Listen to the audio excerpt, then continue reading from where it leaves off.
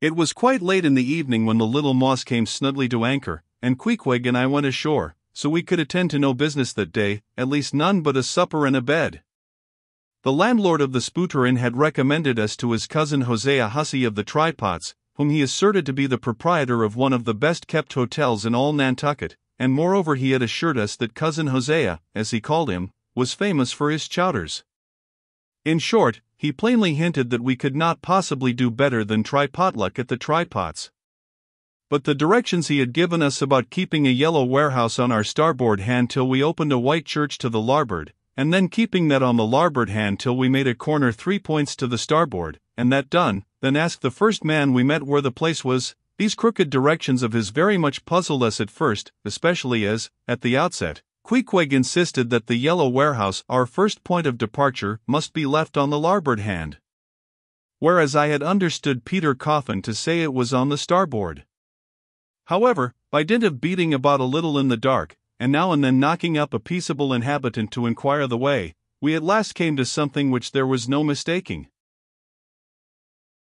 Two enormous wooden pots painted black, and suspended by asses' ears, swung from the crosstrees of an old topmast, planted in front of an old doorway.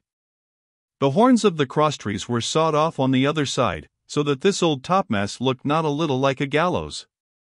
Perhaps I was oversensitive to such impressions at the time, but I could not help staring at this gallows with a vague misgiving. A sort of crick was in my neck as I gazed up to the two remaining horns, yes, two of them, one for Queequeg, and one for me. It's ominous, thinks I. A coffin my innkeeper upon landing in my first whaling port, tombstones staring at me in the whaleman's chapel, and here a gallows. And a pair of prodigious black pots too. Are these last throwing out oblique hints touching Tophet? I was called from these reflections by the sight of a freckled woman with yellow hair and a yellow gown, standing in the porch of the inn, under a dull red lamp swinging there, that looked much like an injured eye, and carrying on a brisk scolding with a man in a purple woolen shirt. Get along with ye, said she to the man, or I'll be combing ye. Come on, Queequeg, said I, all right. There's Mrs. Hussey. And so it turned out, Mr. Hosea Hussey being from home, but leaving Mrs. Hussey entirely competent to attend to all his affairs.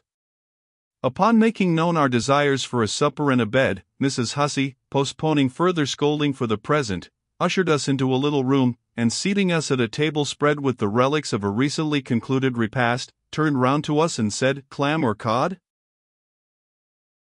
What's that about cods, ma'am? said I, with much politeness. Clam or cod, she repeated. A clam for supper? A cold clam, is that what you mean, Mrs. Hussey? says I, but that's a rather cold and clammy reception in the winter time, ain't it, Mrs. Hussey? But being in a great hurry to resume scolding the man in the purple shirt, who was waiting for it in the entry, and seeming to hear nothing but the word clam, Mrs. Hussey hurried towards an open door leading to the kitchen, and bawling out clam for two, disappeared. Queequeg, said I, do you think that we can make out a supper for us both on one clam? However, a warm savory steam from the kitchen served to belie the apparently cheerless prospect before us. But when that smoking chowder came in, the mystery was delightfully explained. Oh, sweet friends! Hearken to me. It was made of small juicy clams, scarcely bigger than hazelnuts, mixed with pounded ship biscuit, and salted pork cut up into little flakes, the whole enriched with butter, and plentifully seasoned with pepper and salt. Our appetites being sharpened by the frosty voyage, and in particular, Queequeg seeing his favorite fishing food before him, and the chowder being surpassingly excellent, we dispatched it with great expedition. When leaning back a moment and bethinking me of Mrs. Hussey's clam and cod announcement, I thought I would try a little experiment. Stepping to the kitchen door, I uttered the word cod with great emphasis, and resumed my seat. In a few moments the savory steam came forth again, but with a different flavor, and in good time a fine cod chowder was placed before us. We resumed business, and while plying our spoons in the bowl, thinks I to myself, I wonder now if this here has any effect on the head?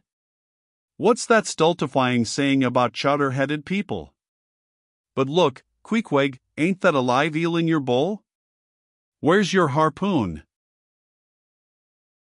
Fishiest of all fishy places was the Try Pots, which well deserved its name, for the pots there were always boiling chowders. Chowder for breakfast, and chowder for dinner, and chowder for supper, till you began to look for fish bones coming through your clothes. The area before the house was paved with clamshells. Mrs. Hussey wore a polished necklace of codfish vertebra, and Hosea Hussey had his account books bound in superior old sharkskin.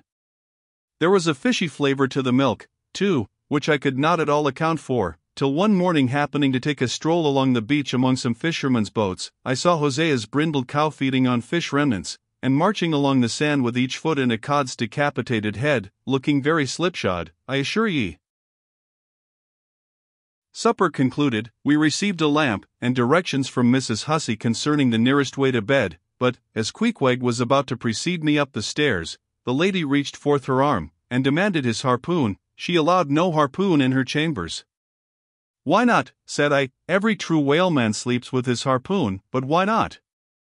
Because it's dangerous, says she.